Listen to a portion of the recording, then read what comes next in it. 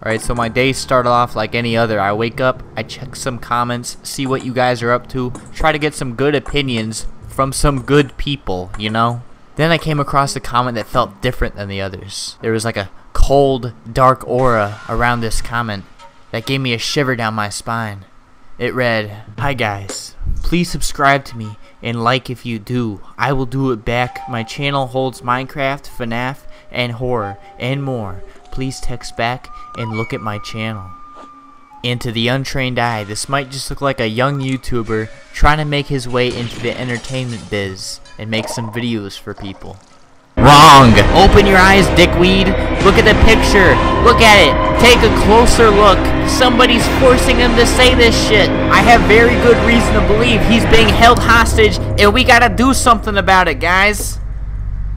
When I looked at his picture and saw how unsure and a little bit scared he looked, I knew I had to investigate a little bit more. It was the only thing that was right for me to do, guys. So I click on his channel, I see some good videos, but what really stands out to me is this thumbnail in particular. So now I ask, was this thumbnail a mistake?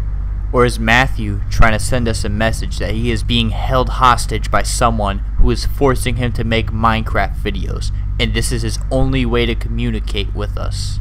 So I dug even deeper. In his comment, he tells us to text back to him. And so I did, and I got no response. Even at the start of his YouTube adventure, he was not happy about it, which is even more proof behind my theory. And just when you thought it couldn't get any worse, the person is making him play games called Lube Tycoon. And what does he need lube for? And whatever this is, I don't want to know. Are these nipples? I don't want to know.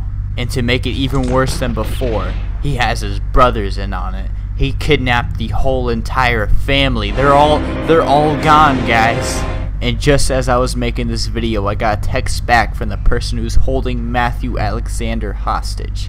He says, if we ever want to see Matthew Alexander again, or his brothers, we gotta leave nice comments on every single video.